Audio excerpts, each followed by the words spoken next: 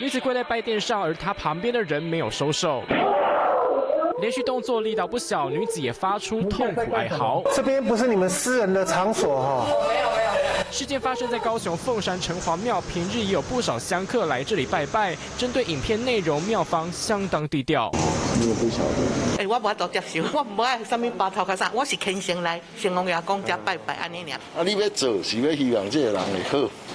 每个比较党也辛苦啊！啊，如果要做到什么，我们可以建议他到医院啊。警方巡线找到女子，她说是父亲住院，心情低落，才和朋友去祈福。朋友拍打头部，是希望她能走出忧郁。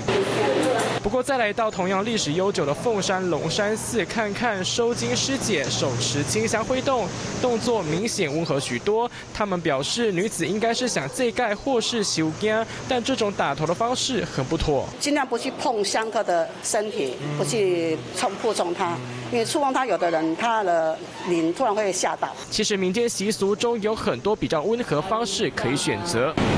拿着板子打屁股，这是东港东龙宫的百年传统，象征把霉运打掉。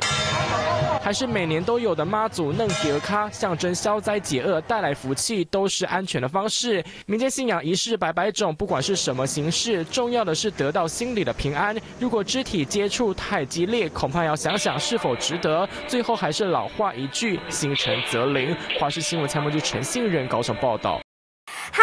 是庄宇杰，想要看到更多的新闻内容吗？赶快订阅华视新闻的 YouTube 频道，并且开启小铃铛，跟着宇杰一起看新闻吧。